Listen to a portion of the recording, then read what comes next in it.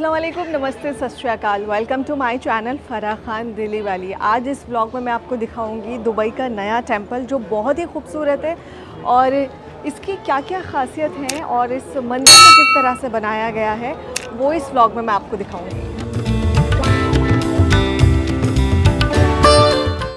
तो आइए आपको दिखाते हैं दुबई का नया मंदिर।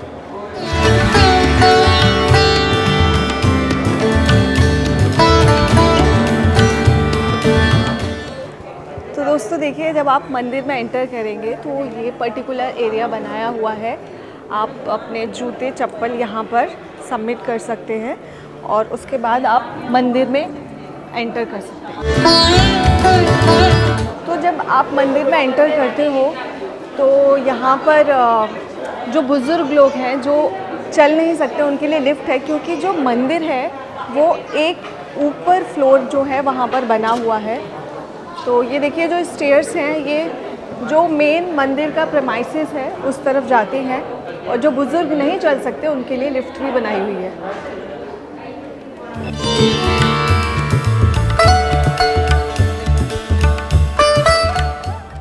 तो दोस्तों देखिए, जब मैं पहले फ्लोर पर आई, जहाँ पर मंदिर बना हुआ है, मेरी नज़र गई, यहाँ ये तुलसी का पौधा जो लगा हुआ है और तुलसी का पौधा बहुत ही अच्छा लग रहा है और जिस तरह से इसको यहाँ पर लगाया गया है, पूरा ये एरिया वाइट एकदम और बेहद ही खूबसूरत ये जो गमला बनाया हुआ है पत्थर का और यहाँ पर ये तुलसी लगी हुई है। तो द मोमेंट आप एंटर करते हो तो वो बहुत अच्छी वाइब्स आती है। देखिए, अभी मैंने बिल्कुल एंट्रेंस पे तुलसी दिखाई और ये जो मेन गेट है, यहाँ से हम मंदिर के अंदर जाएँगे और ये गेट भी देखिए बहुत ही खूबसूरत गेट बनाया हुआ है। ये डिज़ाइन देखिए कितना खूबसूरत है। और यहाँ से हम अब मंदिर में एंटर करेंगे।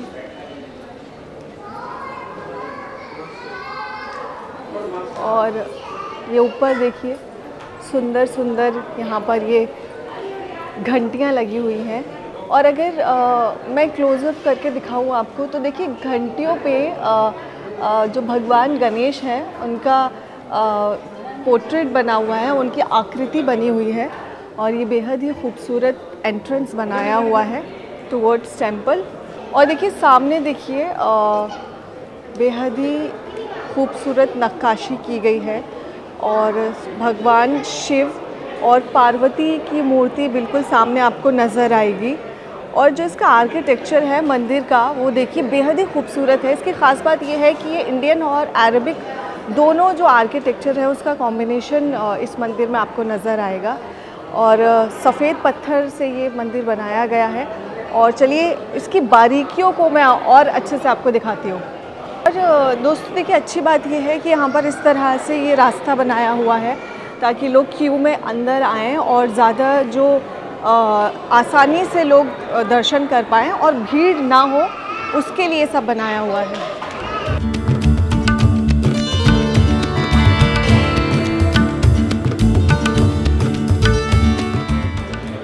दोस्तों, ये देखिए, जो मैं आर्किटेक्चर की बात कर रही थी, उसका एक जीता जागता नमूना बहुत ही खूबसूरत बनाया हुआ है ये ऊपर का और लोटस फ्लावर शेप दी गई है और बेहद ही खूबसूरत है। पूरा सफ़ेद रंग का ये मंदिर बनाया हुआ है। दोस्तों 5 अक्टूबर 2022 यानी जिस दिन दशहरा था, उस दिन इस मंदिर के दरवाजे लोगों के लिए खोल दिए गए और उस खास मौके पर खास मेहमान भी जुटे, जिसमें Sheikh Nahyan bin Mubarak Al Nahyan, जो कि यूएई के minister of tolerance and coexistence हैं। उनके साथ ही यूएई में Indian ambassador mister Sanjay Sudhir भी खास मेहमान थे। ये मंदिर सुबह साढ़े छः बजे से रात साढ़े आठ बजे तक खुलता है और ये मंदिर जबल अली विलेज में बना हुआ है। और दोस्तों, देखिए, इस मंदिर में मुझे एक बहुत ही खूबसूरत चीज़ नज़र आई कि मंदिर प्रमाइसिस के अंदर एक छोटा सा बेहद ही खूबसूरत गुरुद्वारा भी बनाया हुआ है। जहाँ पर आपको जाना है तो आपको सिर ढक कर जाना होगा क्योंकि एक जो रिलीजियस जगह होती है, उसको रिस्पेक्ट करना आपकी ज़िम्मेदारी है। तो इसके अंदर मैं आपको लेके चलती हूँ।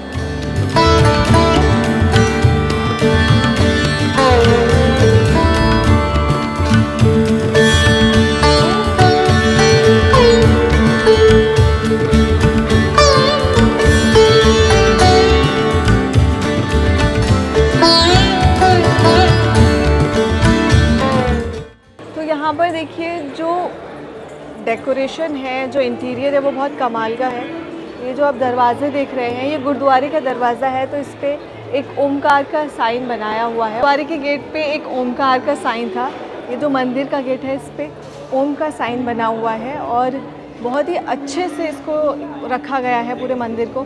और देखिए, हम लोग घर में जो स्पीकर हैं, वो बॉस के स्पीकर लगाते हैं बिकॉज़ बहुत ही एक्सपेंसिव होते हैं ये स्पीकर लेकिन यहाँ पर देखिए स्पीकर जो भी हैं वो एकदम सुपर हाई क्वालिटी के लगे हुए हैं और पेंटिंग्स लगी हुई हैं और बहुत ही खूबसूरती से इसको सजाया गया है। आप यहाँ पर दुबई में हैं और ये मंदिर अभी नया खुला है। कैसा लग रहा है आपको? अच्छा लग रहा है। हम लोग इंडिया से आए हैं। अच्छा। हाँ तो बहुत सुंदर लग रहा है। बहुत ही ज़्यादा खुशी आ रहा है। हाँ वो चेहरे से भी आपके नज़र आ रहा है। बहुत ज़्यादा अच्छा लग रहा है। सबसे अच्छी क्या चीज़ लग रही है शिव जी और Parvati ji. And and the moment आप एंटर करते हो सामने शिव जी पार्वती हैं। मन एकदम खुशी से लगता है क्या देख रहे कितना अच्छा। ए, मैं पहली बार आया हूँ। मैं सुना था दुबई में अच्छा एक मंदिर बना मगर आज देख के इतना अच्छा लगा। इस दुबई के स्टैंडर्ड में इधर का भी मंदिर बहुत अच्छा बनाया है। इंडिया में हर टेंपल ऐसा होना चाहिए। मुझे बहुत ही अच्छा लग रहा है। I did not expect it to be so beautiful मुझे पता भी नहीं था यहाँ इतना बड़ा मंदिर बन रहा है। I am really feeling nice the way gods and goddesses have been displayed all around the place मन में कुछ भावना तो ज़रूर पैदा किया है। मुझे तो बहुत ही अच्छे लग रहा है क्योंकि मैं जब I am coming from Calcutta okay तो मैं जब आ रहा था तो मैं देखा ये ओपनिंग हो रहा है तो मुझे बहुत खुशी हुई कि ओके मैं जब जाऊँगा तो वो देख सकूँगा कि कैसा है। मैं पिक्चर में देखा था टीवी में कि ये ओपनिंग हो रहा है but I never expected this to be so good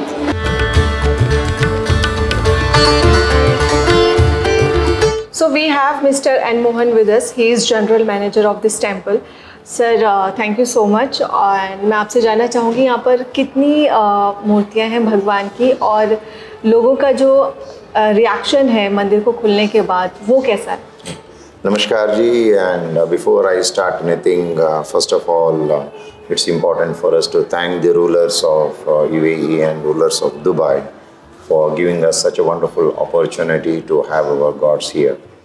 For a question of how many deities हुआ हमारा पास कितना है we try to cover maximum in India like north to east and south to west to make sure that we keep as many people as happy most of the people who come here as I मैं quite happy seeing so many deities here and the practice बेहद ही खूबसूरती से ये जो blind है इस पर आप देखेंगे ध्यान से तो श्री यंत्र भी बने हुए हैं। तो छोटी छोटी और बहुत ही इंपॉर्टेंट चीज़ों को ध्यान में रखकर ये खूबसूरत मंदिर बनाया गया है। दोस्तों, यहाँ पे हेल्प डेस्क भी है।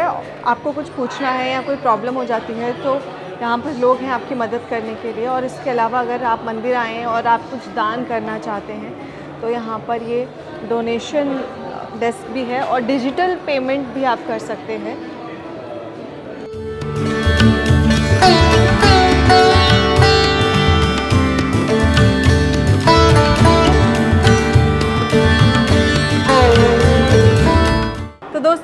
ब्लॉग में मैंने आपको दिखाया दुबई का बहुत ही खूबसूरत मंदिर। आई होप ये ब्लॉग आपको अच्छा लगा हो। अच्छा लगा हो तो चैनल सब्सक्राइब ज़रूर कीजिएगा वीडियो लाइक कीजिएगा। आप अपना बहुत बहुत ख्याल रखिए बाय बाय